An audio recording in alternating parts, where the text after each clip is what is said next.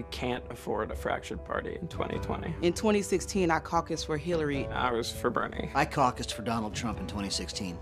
In 2020, the person that can unite the party is Elizabeth Warren.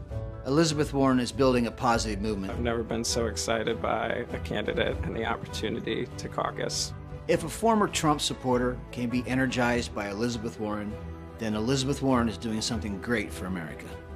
I'm Elizabeth Warren, and I approve this message.